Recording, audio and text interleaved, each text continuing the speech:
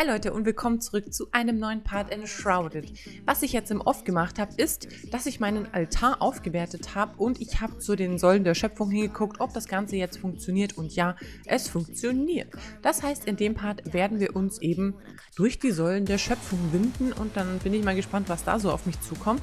In dem Sinn Leute, viel Spaß und let's go. Ja, wie ihr sehen könnt, bin ich jetzt auf Flammenstufe 4 was mir natürlich jetzt ein paar gute Boni verschafft hat.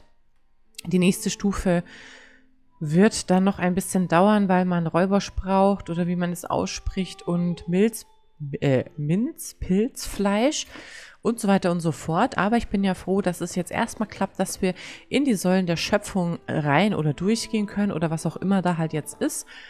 Wir essen jetzt was und trinken was. Und dann düsen wir auch hin. Ich habe jetzt hier nochmal einen zweiten Altar platziert, damit wir schneller da sind. Und da stehen wir beim Tor zu den Säulen der Schöpfung. Ich werde mir gleich mal zur Vorsicht ein helles, ein helles Irrlicht anmachen. Denn ich weiß, wie gesagt, ja nicht, was mich jetzt hier schon wieder erwarten wird. Wir sind auf jeden Fall im Miasma. Ach so, was ich aber machen könnte, wäre tatsächlich mir hier einfach mal einen Wegpunkt zu markieren. Ich weiß ja, wie gesagt, nicht, ob ich jetzt hier durchlaufen kann oder was halt eben jetzt hier ist. Deshalb, ja, keine Pläne. Außer diese blöden Dinger hier schon wieder. Tausende davon.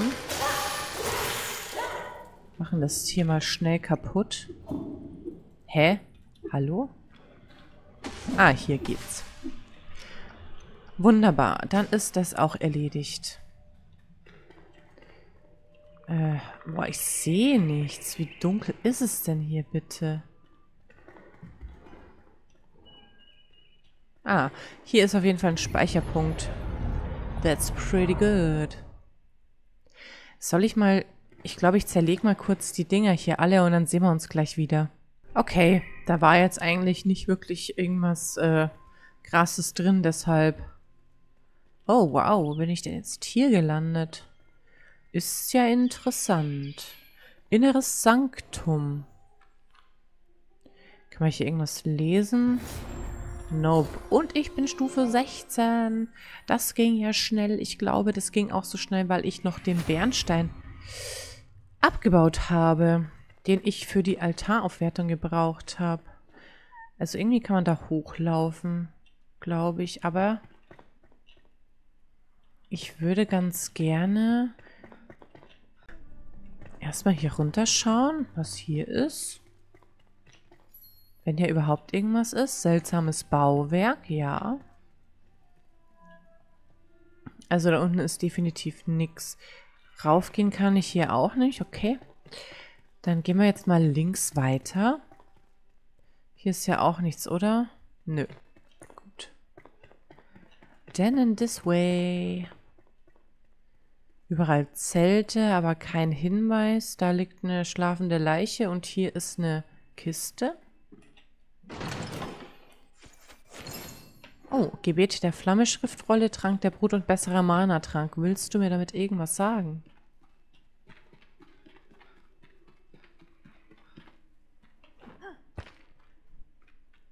Hm. Was haben wir hier? Ach, das ist nur ein Feuer. Lesen. Neue Theorien. Ich muss meine Studien überdenken. Meine Theorie nahm erst an, dass dieser Berg der Säulen der Schöpfung ein aktiver Vulkan sei. Der Abgrund voll Lava wäre ja wohl der Beweis genug. Ich dachte, dass die Spitze während eines prähistorischen Ausbruchs aufgerissen worden sein muss und das Land, wie wir es kennen, geformt hat. Und diese seltsame Struktur. Nun ja, vielleicht ein Ort des Gebets und der Andacht, vor langer Zeit von den Erbauern errichtet. Leider habe ich das alles nicht als erster entdeckt. Vor mir war schon eine andere Expedition hier. Ein Volk aus dem Osten, angeführt von einer Nala. Sie glauben, dass es sich um eine Art Tor handelt. Wirklich interessant. Ich werde meine Theorien anpassen. Caspian. Mhm. Eine Art Tor, aber wohin führt dieses Tor? Brauchen wir Fell für dieses Tor? Ah, hier sind irgendwie solche Dingsy-Döngsis. Aber auf die habe ich keine Lust, deswegen gehen wir außen rum. So. Was ist das? Äste. Gut. Hätte ja auch was Besonderes sein können, nicht wahr? Einmal öffnen, bitte. Und hier sind auch wieder solche Dinger, die mache ich auch mal schnell kabu Kabutschko. Einfach, weil ich gucken will, was da drinnen ist. Man findet ja doch dann immer irgendwas Brauchbares, eventuell. Oder halt auch nicht. Kupferbarren schaut. Dann noch ganz kurz die Seite.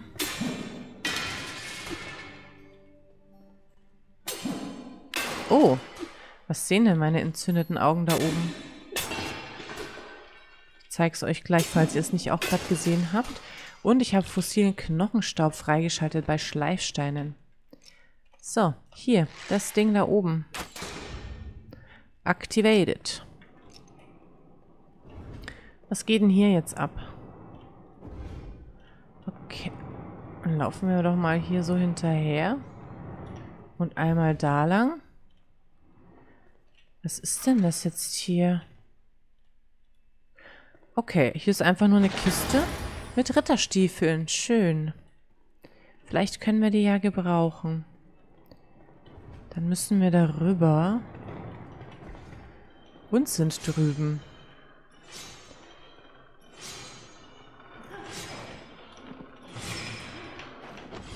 Okidoki. Was ist hier? Hier ist eine Tür, die muss man, glaube ich, hier aufsprengen. Das geht schneller. Ich lerne ja auch manchmal von euch. Öffnen. Komme ich durch? Ja. Cool, noch eine Kiste. Mit Mystiker-Handschuhen. Hier werde ich fündig, Leute. Das ist das reinste Fundhaus hier. So. Was ist jetzt hier? Ich brauche nochmal Licht. Quatsch, B ist es. Benutzen. Jetzt weiß ich natürlich nicht. Äh, können wir hier auch mal reinschmeißen. Da noch irgendwas ist.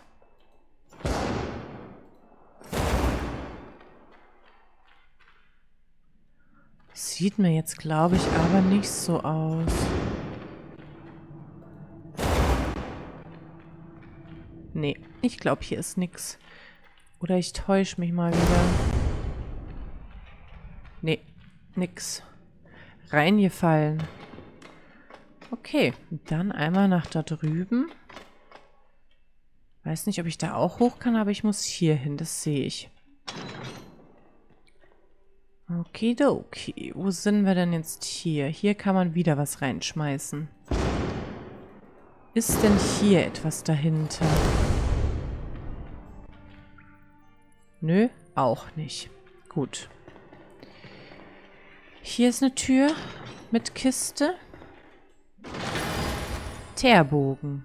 Ach ja, übrigens, wo wir beim Bogen sind. Ihr habt bestimmt schon gesehen, dass ich hier den Bogen des Brutkommandanten habe und ich habe auch alles hier ausgerüstet. Also der müsste ja jetzt halt ultra mega OP sein. Okay, da oben ist wieder irgendwas, wo man drauf schießen kann. Beziehungsweise, nee, stimmt nicht.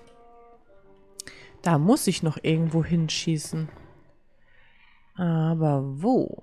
Habe ich bis jetzt noch nichts gesehen. Oder ich habe es übersehen. Schauen wir mal. Ja, weil die Tür geht nämlich hier nicht auf. Gut, okay. Ähm, dann... Weiß ich nicht, wo ich es übersehen habe, ehrlich gesagt. Das ist dann hier die Frage aller Fragen. Ah, hier ist was zum Raufwursteln. Äh, Gut. Da ist was zum Schießen. Was ist hier noch so? Das war das. Nee, ich glaube, dann ist hier nichts mehr. Ähm, hier ist aber noch eine Tür zu einer kleinen Kiste. Lichtexplosion. Ah, und jetzt ist hier auch die Tür auf und wir können durchdüsen.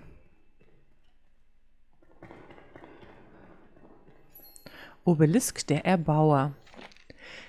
Unser wachsames Auge gen Himmel für immer versiegelt. Energie, die tief aus dem Kern hervorbricht. Ein Licht erstrahlt und durchdringt die Grenzen des Weltraums selbst. Eine Tür, die vom Flammengeküssten geöffnet werden soll. Der hellste Funke wird den Weg des Feuers beschreiten und erleuchten, was sich im Schatten verbirgt. Die Sterne dürfen niemals erlöschen, die Sonne niemals finster werden.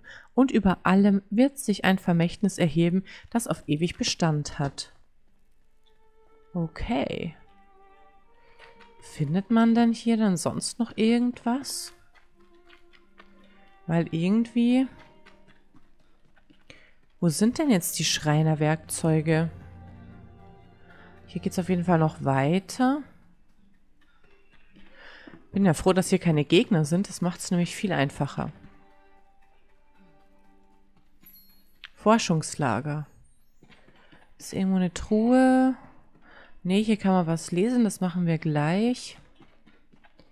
Erstmal hier umschauen. Da ist eine Truhe. Verbänden Miasma Meteoritenschauer. Okay. Hier ist auch eine Kiste. Nochmal Meteoritenschauer. Hier ist auch wieder was zu lesen.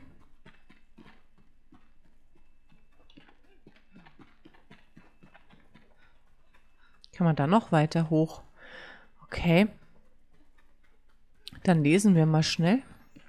Oh, was ist hier? Ach, die Schreinerwerkzeuge. Unveredelter Steinblock bei Werkbank. Cool. Hier kann man auch noch was nehmen. Holzpfeile. Genau das hat die Welt gebraucht. Und dann lesen wir uns mal durch.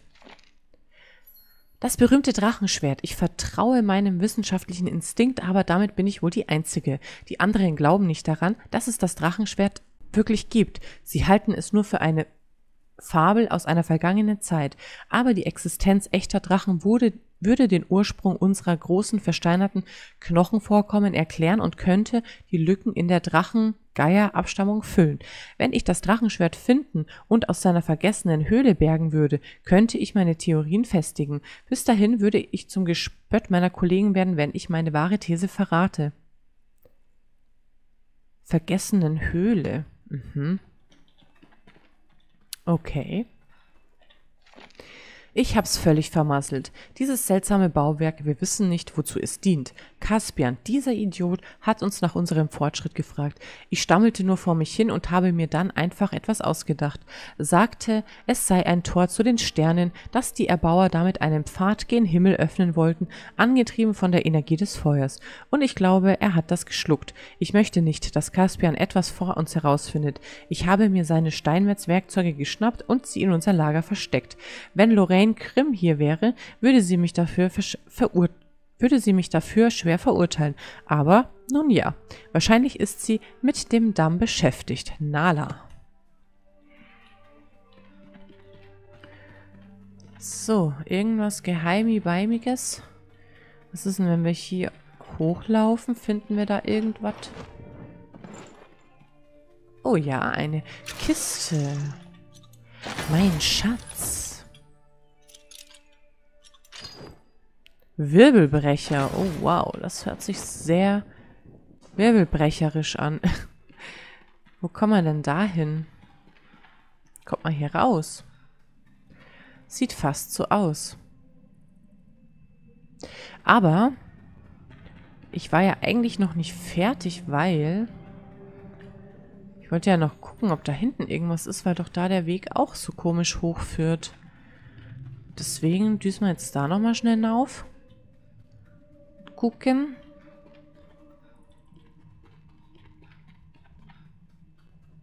Ah, das ist tatsächlich dann auch wieder nur ein Ausgang. Ach, die tun mir nichts, ne? Nö, okay. Ich vergaß schon wieder, meine Lieben. Wo sind wir denn jetzt gelandet? Schaut her, schaut her. Unbekanntes Terrain sind wir jetzt tatsächlich, ja, sehr schön auf dem Weg Richtung Fragezeichen. Da düsen wir natürlich auch noch hin. Standort unten. unten? Da unten, oder was? Und was ist dann hier oben?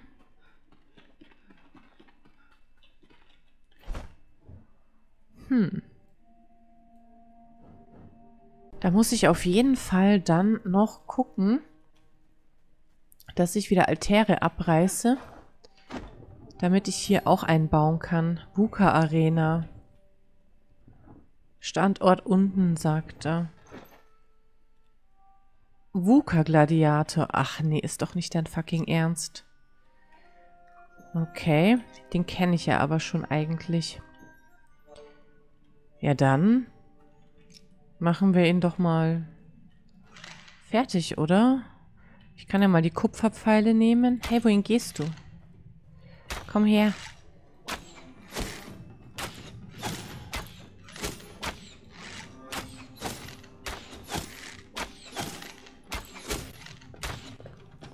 Okay. Das war's. Hallo. Na komm, versuchen wir noch den Poppes. Was machst du da?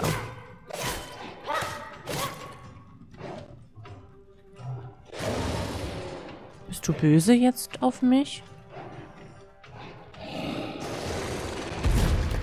Der hat ja nichts drauf, ey. Ich sehe nichts.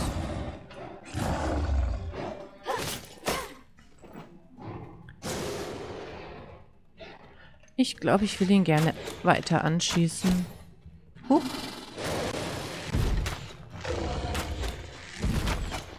Ist das effektiver?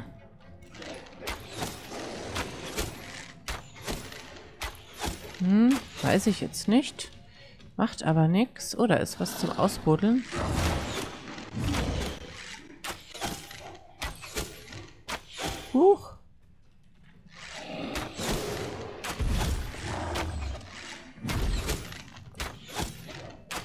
Jetzt haben wir ihn bald.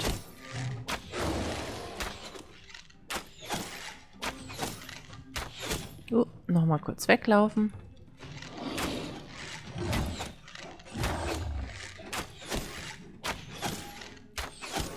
Ah, das war's. Das war's mit unserem Gladiator. Alles nehmen. Neue Geschichte, Adel und Geschichte. Jasminas Vergöttlichung habe ich bekommen. Und was war jetzt hier? Ach so, das war einfach nur äh, Ding. Okay. Hey, cool. Haben wir das jetzt erledigt? Wir haben... Mein Gott, ich erschrecke mich immer, wenn dann da im Nachhinein noch was passiert. Also, wir haben Jasminas Vergöttlichung. Geil. Nahkampfwaffe, muss ich mir anschauen. Hat 34 Schaden und eine Menge Gedöns hier. Die Werkzeuge haben wir. Dann muss ich mir natürlich das hier noch anschauen. Ähm.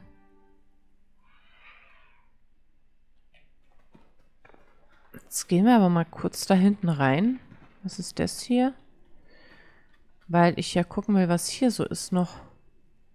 Ach so, das ist quasi einfach nur so sein Schlafplatz. So, und da komme ich da irgendwie hoch. Sieht fast nicht so aus. Vielleicht muss ich da dann nochmal von oben runter. Wisst ihr was? Ich möchte jetzt ganz kurz dann tatsächlich jetzt auch nochmal in die Richtung hier gehen wo der Schmied seine Bitte noch hat, weil vielleicht können wir ja gleich auch die Schmiedewerkzeuge irgendwie noch abgrabbeln. Da sind wieder Wukas, aber die tun mir, glaube ich, nichts. Deswegen kann ich die mal schnell getrost ignorieren.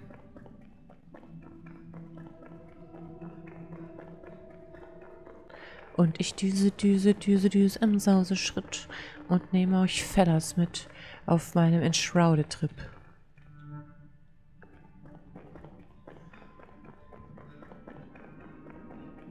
Na, was ist da los?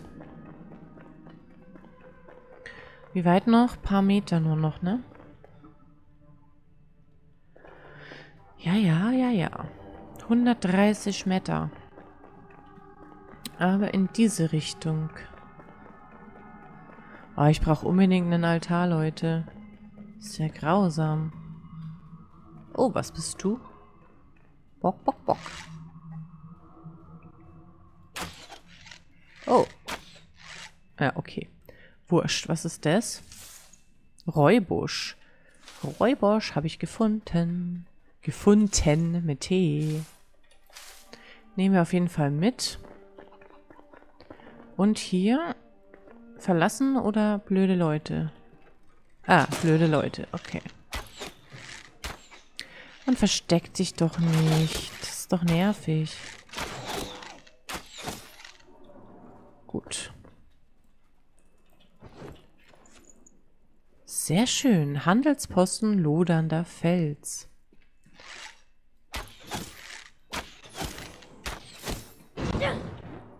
Macht nichts, wir haben ihn noch erwischt. Okidoki, Antischoki. Eh, da ist eine Spinne. Aber die tut mir ja nichts. Was ist hier? Wilde Kreaturen, wie entsetzlich. Ein Gewitter hatte uns überrascht und wir suchten einfach nur einen Platz, um trocken zu bleiben und uns auszuruhen. Wir hörten sie in dieser Höhle kratzen und knurren. Sie müssen uns gerochen haben, denn sie griffen unprovoziert an. Einer von ihnen riss Christoph den Kopf ab. Okay. Sein Körper fiel zu Boden wie ein nasser Getreidesack und seine Keule rutschte ihm aus den Händen, bevor er sie überhaupt benutzen konnte. Das Tier hatte dickes, verfilztes Fell und aus seinem Maul ragten riesige Stoßzähne. Es brüllte genauso seltsam wie ohrenbetäubend. Wuka! Das wird mich für den Rest meiner Tage verfolgen. Ja, ich glaube, du bist tot, deswegen wird dich gerade gar nichts mehr verfolgen. Raffa, Du hast gesagt, Sie würden morgen Nachmittag hier sein. Ich habe eine Ewigkeit gewartet, um das Paket für den Oswald anders abzuholen. Ich habe sogar ich habe sogar einen Wagen vorbereitet, weil du gesagt hast, es wird schwer zu tragen sein. Alles umsonst. Sag den Conway-Brüdern, sie sollen einen Raben schicken, wenn sie da sind. Obwohl, wenn sie versuchen, ihre Route durch den Umbra-Krater abzukürzen, können wir das Paket komplett vergessen. Zu meiner Verteidigung, ich sagte ihnen, sie sollen diesen Weg nicht nehmen, es könnte ihr letzter sein. Oh, und was machst du da drin? Gut, ist dann jetzt hier das Paket äh, vom Schreiner oder wie? Äh, Schmied. Schmied, Schreiner, Schmied, Schreiner? Nein, Schreiner haben wir schon geholt. Ach nein! Mann, verzieh dich, du. Ach, scheiße. Das war ja wieder so klar. Und was hat es gesagt? Standort unten. Ach, da ist er ja. Komm her. Der regt mich schon wieder sowas von auf.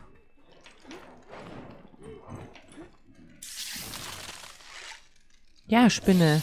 Greif ihn an. Das machst du super. Und er greift mich aber auch gut an, ey. Komm her, du blöde Schmettekake.